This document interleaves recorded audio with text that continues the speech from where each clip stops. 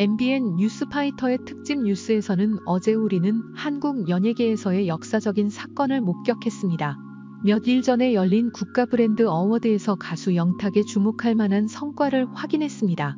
MBN 뉴스파이터의 30분 길이의 뉴스에서는 영탁이 귀하게 여겨지는 상을 수상한 사실뿐만 아니라 여러 엔터테인먼트 및 문화 전문가들 간의 열띤 토론에 중점을 두었습니다.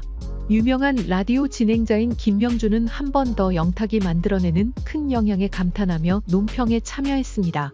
영탁은 대상뿐만 아니라 4개의 다른 상도 수상하여 한국 트로트 음악 역사에서 신기록을 세웠습니다.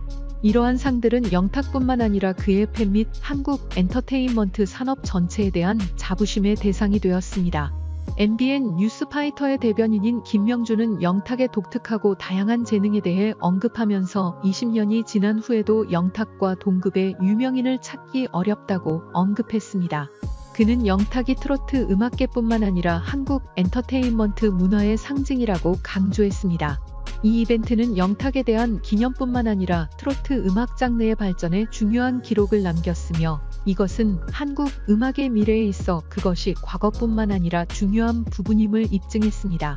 국가 브랜드 award 시상식은 영탁을 포장하는 기회뿐만 아니라 트로트 음악 장르에 대한 새로운 기록이자 기적이었습니다.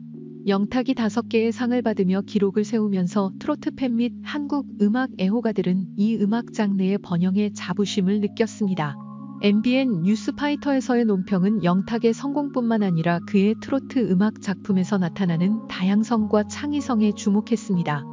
엔터테인먼트 전문가들은 영탁이 이 음악 장르의 새로운 파동을 일으키고 계속해서 발전시키며 광범위한 청중을 끌어들이는 데 기여했다고 인정했습니다. 영탁은 유명한 가수뿐만 아니라 자신의 음악을 통해 커뮤니티에 긍정적인 영향을 끼쳐 높은 평가를 받고 있습니다.